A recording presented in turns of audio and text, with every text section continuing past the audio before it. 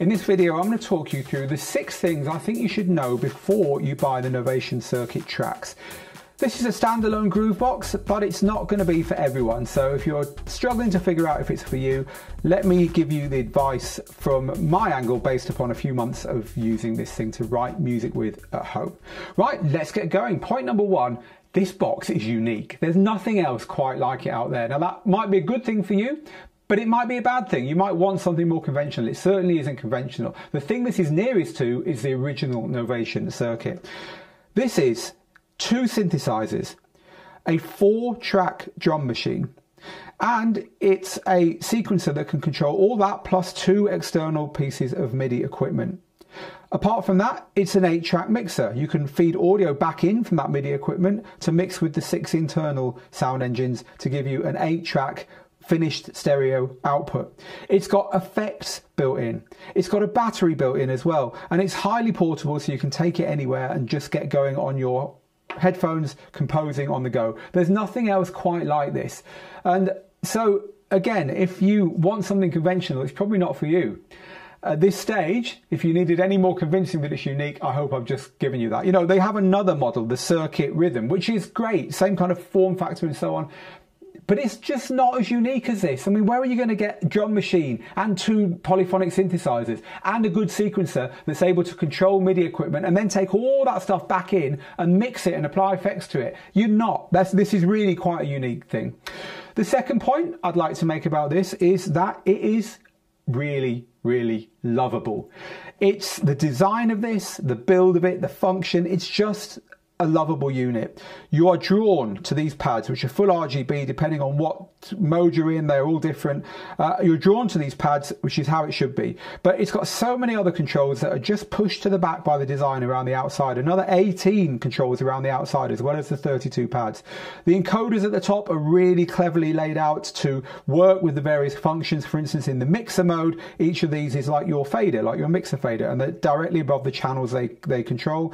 Then you've got a master filter filter, which is like a DJ's master filter, and a master volume kind of around the edges of those. Um, it's a wedge kind of shape. So that means around the back you've got room for full MIDI in, out, and through, uh, which weren't on the previous one. You know, everything about this is pushing you towards thinking, actually, I really love this. It doesn't feel cheap, even though it's plastic. It's just a lovable little unit. So if you're looking at it thinking, will I not like it? Will it feel like it's a bit of a toy? I can reassure you it won't. I think you'll fall in love with the thing. So my third point is it's got a lot of hidden power. It's actually very, very easy to get going with this. You turn the thing on and you hit play and the last thing that you were working on will play away and then you can dive in very quickly and start changing up things much, much quicker than booting up a computer, for instance. However, there is a lot of hidden depth to it. There's a lot of macros for things like tuning your drums and, and, and designing your drum sounds. At the synthesizers, you've got an oscillator, oscillator modulator, amp envelope, filter envelope, filter frequency, resonance, modulation, effects. You can tweak and automate the sounds coming off all of these patches that are built in. It's got micro steps built into the drum machine so that you can do those, for instance, those really fast trap hi-hats and stuff like that. But also you can introduce swing to it and you can play non-quantized and it will respect that. It's got things like probability and mutate. So you can put bassline patterns in and so on, and it'll play with them as it's playing in a way which can inspire you and can make your stuff sound a lot more organic. Uh, it's got velocity. It's just very uh, thoughtfully uh, been piled with features that are not in your face if you don't want them, but they are there for you. So it, it, uh, it's got a lot of hidden power.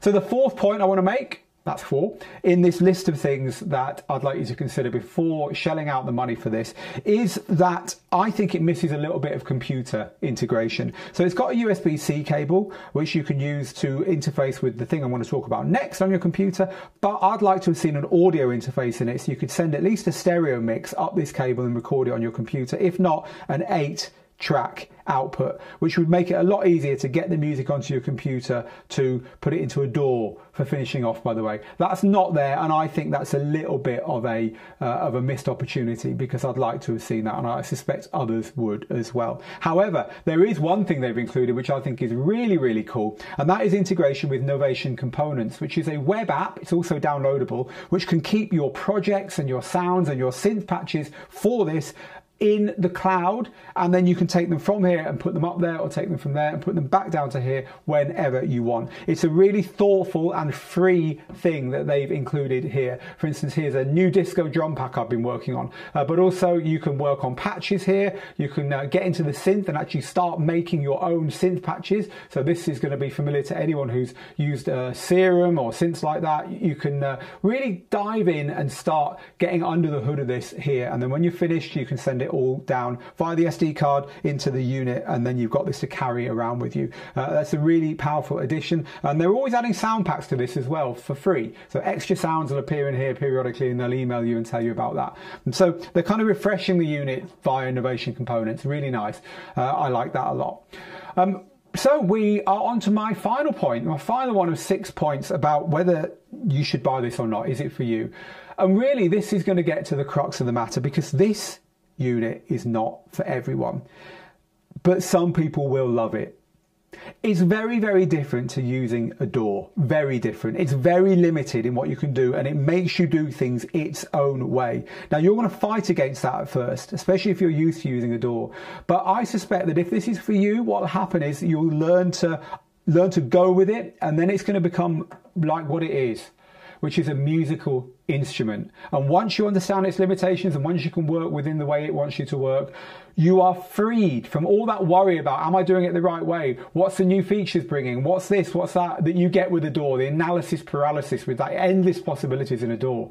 The possibilities in here come from inside your head because what's built into this thing is finite. Yes, you can add to this your own feeling, especially because it's got two external MIDI, MIDI channels that you can use. So for instance, in my home setup, I have it with a Korg bassline machine with a uh, little sampler, uh, with a keyboard to control the, the keyboard functions of the pads because I find that easier, and a little mixer to make up for the fact that there's no audio interface put into it. But even that setup there is limited. So you have to get used to playing within what you've got. And to a lot of people, that is going to be something that is far from being uh, a limitation in the end, it's going to be something that, that pushes them creatively. And that is really going to decide whether it's for you or not, whether you are happy to accept limitations and the fact that you're playing an instrument rather than in this kind of endless world of computer music. Uh, what kind of person are you? That's going to be the thing that really decides for you.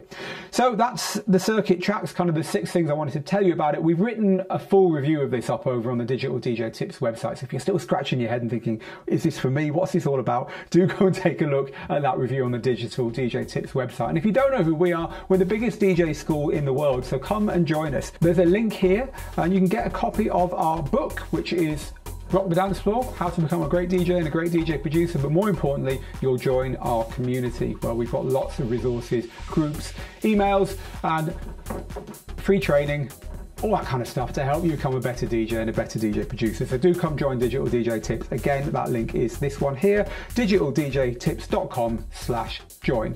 Uh, meanwhile, get good, get out there, make the moments. I'll see you again in another review, in another video very soon. Until then, have fun.